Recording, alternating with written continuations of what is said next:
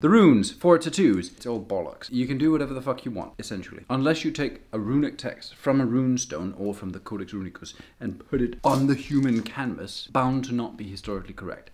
Because you will be translating from a different language or from a later version of the language into runes that probably doesn't fit. And the runes are phonetic, so they're quite personal. You can change and use different runes for a little bit of different purposes. If you want runes tattooed on you, step number one is decide do you want it in English, Danish, Icelandic, or whatever the fuck? Is it something historical?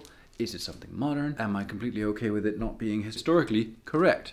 And on that note, there is no historically correctness Viking tattoos anyways, because we don't know for an absolute certain fact if the Vikings had tattoos. So even if you do get a hand poke, it will be done with a modern needle anyways, and there's no evidence that that was how the Vikings did it. I suggest you just say, fuck it, have whatever tattoo you want, because it's your body, and you'll be much happier with yourself getting what you want tattooed. That's it, fuck off!